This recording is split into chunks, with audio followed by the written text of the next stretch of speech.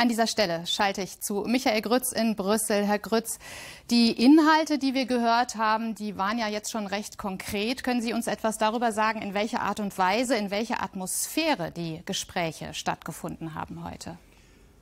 Das war eine insgesamt sehr konstruktive und angenehme Atmosphäre. Ähm, man konnte spüren, dass die äh, Offenheit seitens äh, Frau von der Leyen, aber eben auch der verschiedenen Fraktionen durchaus vorhanden ist. Wenn man jetzt Abstufungen vornimmt, könnte man sagen, dass die Sozialdemokraten vielleicht etwas widerspenstiger waren. Sie haben heute Morgen direkt Frau von der Leyen klargemacht, dass sie nicht die Person ist, die sie da eigentlich sitzen haben wollen. Sie seien für das Spitzenkandidatensystem und Franz Timmermans Timmermans. Und die Forderungen, die auch dargestellt worden sind, waren von den Sozialdemokraten sicherlich sehr klar.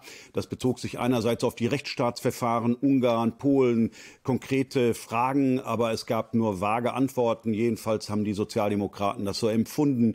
Und auch was soziale Fragen angeht, schienen manchem da doch äh, Frau von der Leyen etwas zu vage noch. Bei den Liberalen war es etwas anders, vielleicht etwas freundlicher noch. Bei den Grünen wird es jetzt zurzeit, läuft ja noch diese Befragung weiter ähm, noch etwas schroffer vielleicht auch äh, zugehen. Jedenfalls ist es ein Befragungsmarathon im Minutentakt in allen Sprachen durch alle Politikfelder, äh, die es nur so gibt. Also das ist wirklich ein Grillen äh, ähm, auf höchstem Niveau. Und bisher schlägt sich meines Erachtens von dem, was ich gesehen habe, Ursula von der Leyen relativ gut. Lassen Sie uns noch mal einen Schritt zurückgehen. Sie haben ganz zu Anfang von dem Treffen mit den Sozialdemokraten gesprochen. Da haben wir schon im Vorfeld, zumindest von den deutschen Sozialdemokraten, gehört, dass Sie von der Leyen geschlossen ablehnen möchten. Bleibt es dabei?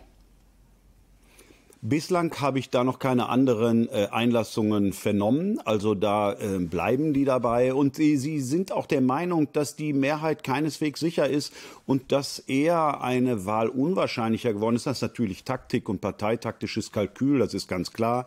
Und äh, was man allerdings weiterhin sagen kann, ist, dass beispielsweise die spanischen Sozialdemokraten und die portugiesischen deutlich ähm, näher an einer Wahl sind und an den Befürworten. Äh, und bei einigen anderen kann man das nur schwer sagen das gleicht so ein bisschen einem Blick in die Glaskugel. Aber wir sind ja nun jetzt auch noch einige Tage vor der ähm, äh, Wahl in der nächsten Woche und da kann noch eine ganze äh, Menge passieren bis dahin. Herr Grütz, weshalb könnten die spanischen und die italienischen Sozialdemokraten sich vielleicht doch für eine Zustimmung für Frau von der Leyen durchringen? Was sind die Gründe dafür? Na, vor allen Dingen bei den Spaniern ist es so, dass die Sozialdemokraten nach ihrem Wahlsieg äh, vor kurzem eine deutlich selbstbewusstere Rolle äh, spielen, anders als äh, die letzten Jahre zuvor. Äh, Spanien ist äh, wieder da, spielt mit in der europäischen äh, Diskussion und ähm, Pedro Sanchez hat auch ganz klar gemacht, ähm, dass er Franz Timmermans will, aber irgendwann konnte er seinen eigenen Außenminister Josep Borrell auch durchbringen, hier als Außenbeauftragten und im Gegenzug geht es jetzt natürlich darum, darum, sich auch an die Abmachungen zu halten. Und äh, er will dann auch, ähm, dass äh, von der Leyen äh, möglichst von seinen Sozialdemokraten im Europaparlament mit unterstützt wird. Das ist ein wenig hier die Erzählung.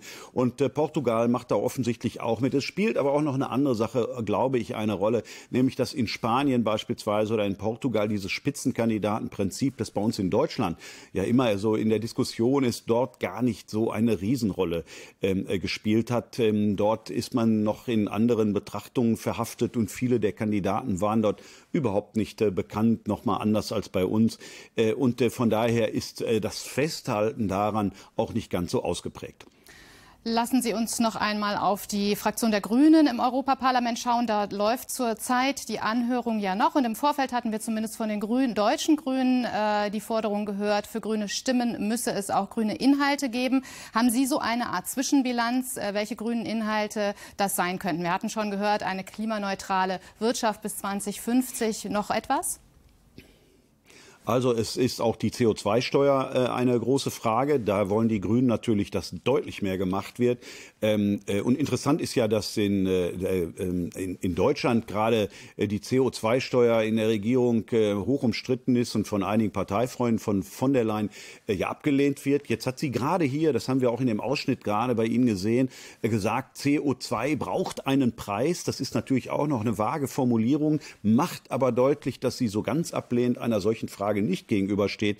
Ich äh, würde das interpretieren als ein Entgegenkommen an die Grünen. Auch die Frage, eine ähm, äh, CO2 und eine klimaneutrale ähm, äh, Europa äh, zu erreichen innerhalb eines bestimmten Zeitraums. Auch das hat sie deutlich gemacht. Also in dieser kleinen äh, Rede, die sie da vorhin gehalten hat, und ich war dabei, habe mir das angehört, ähm, es ist für jeden so ein bisschen was dabei, um jeden zufriedenzustellen um am Ende dann auch noch mal klar zu machen. Und was wir ganz besonders brauchen, ist ein vereintes Europa. Also der Appell, die Streitigkeiten und den Zwist zu überwinden und sie dann vielleicht am Ende doch zu wählen. Also das war sehr genau orchestriert ähm, auf die Bedürfnisse der verschiedenen Fraktionen und äh, auf die einzelnen Interessen hin, äh, damit es doch zu einer Wahl kommt. Aber gesichert ist das noch lange nicht. Es sind noch viele Tage bis zu dieser Wahl. Vielen Dank für diese Informationen aus Brüssel, Michael Grütz.